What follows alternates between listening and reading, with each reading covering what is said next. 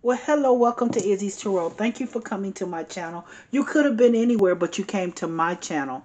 For that, I'm extremely grateful. Thank you so much. I'm going to do a Taurus love prediction reading for January 31st through February 6th. Please keep in mind this is a general read. If it's not your story, it's not your story.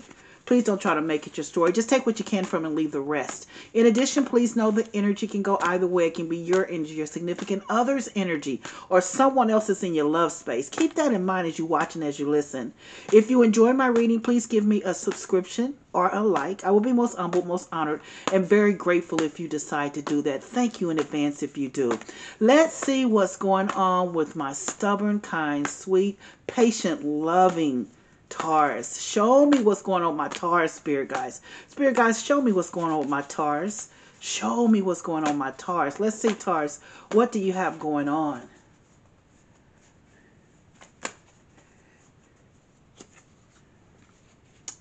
Three of Cups. Eight of Wands.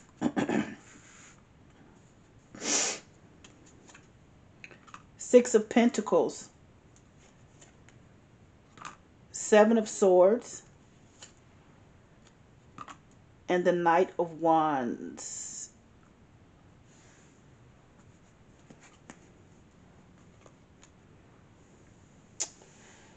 You got the Three of Cups here with the Eight of Wands. And the Three of Cups is all about having a good time. Whoever you're with, whoever you've been with, this was someone that you just knew and you had a good time with them.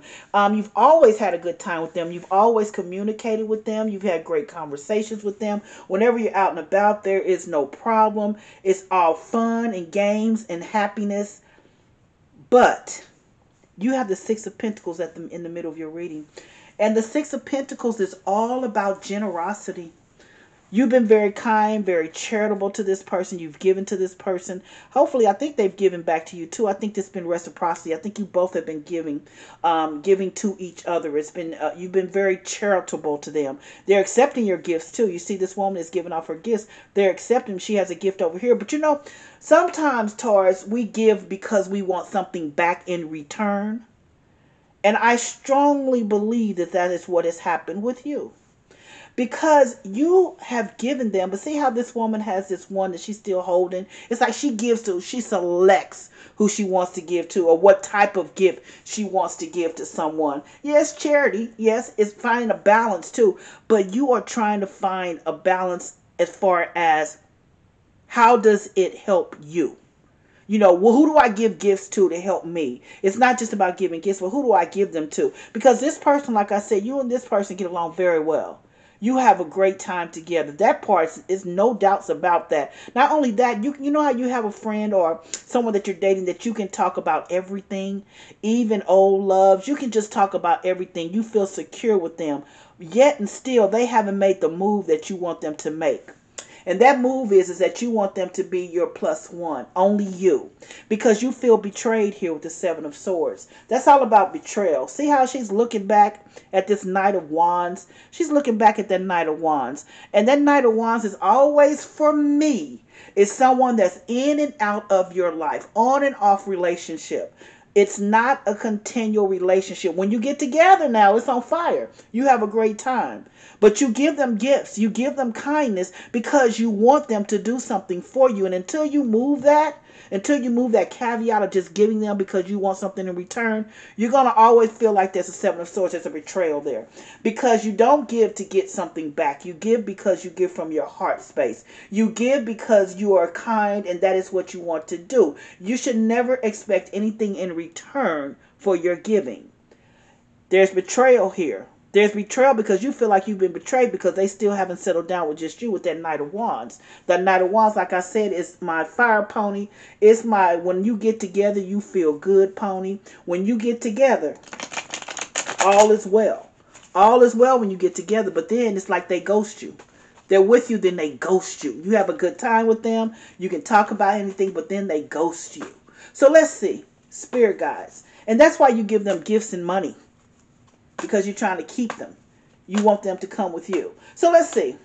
Show me, Spirit guys. If this is your reading, sit back, relax, because I really want to see what's going on deep inside this relationship that you have, this person that you really want. Show me why the Three of Cups is here for my Taurus. Show me, Spirit guides.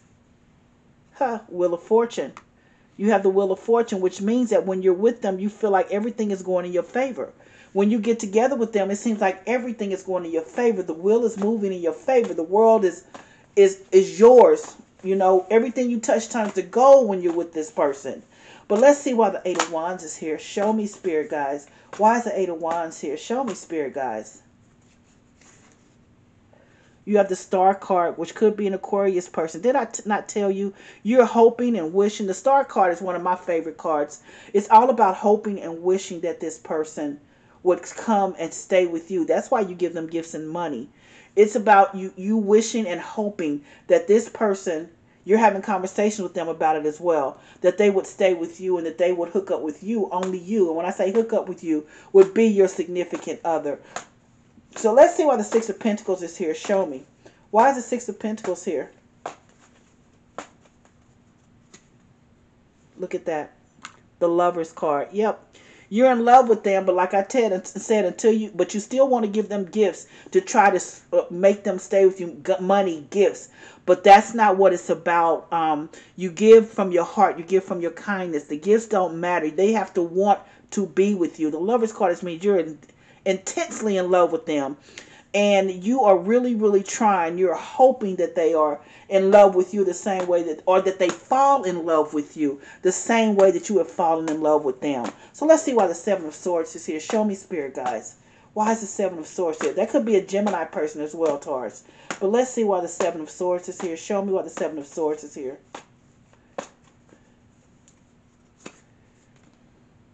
Got that eight of wands again Thank you, Spirit Guides. Whenever you get two of the same cards in the read, that means I'm telling you exactly what the Spirit Guides want you to know. You are, um, Seven of Swords is that you're having conversations with them again about them being your plus one. Only you, not anyone else. You're having spirited conversation. You feel betrayed because you feel like you've given them all these gifts and you've given them give, give, give, but you can't give until, until you release that caveat of just giving, giving, giving until you release that from your heart you won't be able to um, keep them and they won't want to stay with you. Not that they know that that's why you're giving to them. I don't think they're i think they're oblivious to it. I don't think they know that. But you know it deep in your heart why you're giving. So let's see why the knight of wands is here. Show me why the knight of wands is here. Show me spirit guys. Ace of swords. You have clarity you have clarity. And also the clarity is coming with the fact that I said you cannot give and expect things in return. You cannot buy someone's love. You cannot look at it that way. You must give from your heart because you want to give you want to give. So let's say the Three of Cups at the very beginning of your reading. And the Three of Cups, when you're with this person, there's the Wheel of Fortune that you have a good time with them. Like I said, whenever you're with them, you feel like um, your world is moving just right. All is well. You Everything you touch turns to go. You and this person um, have great conversations. You talk together. You can talk about anything. You have the star card here. Could be an Aquarius person as well. But that star card means that you actually um, really, really um, hope that you can get together with this person. But here, you hope that you can get together with them. But the problem is, is the Six of Pentacles for me in the middle of your readings because you're given only because you want something in return, not given because. And you could be giving money, you could be giving gifts, you could be paying bills, whatever. But you're giving because you want something in return because you're incredibly in love with them. And this star card next to this um, lover's card could be a Gemini person, could be anyone, but that's what's showing up. Um, means that you are in love with them and you are hoping that they are in love with you and that they will be with you only. Because right now you guys still have fun and they I don't know if they quite realize how you feel about them. But here's the seven of swords here. You're feeling betrayed because they still have not given you their heart. They've not given you their heart and you're having conversations with them about it. Um, how do they feel? What do they want? But they haven't released that to you yet. Then you have the knight of wands which means this is an on and off again this is an in and out of uh, relationship. When it's good, it's good. When it's not around, they ghost you. Then you have the Ace of Swords, which you need clarity, but you do have clarity. You know exactly. You know what you want, and you have clarity. So let's see what my um, angel oracles have to say to you. What do my oracle cards have to say to you? What do my oracle cards have to say?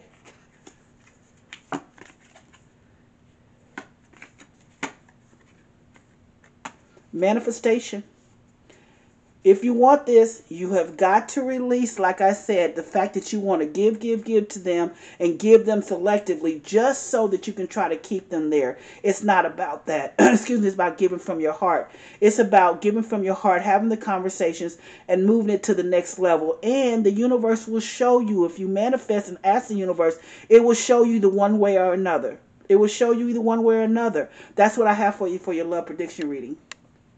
Taurus.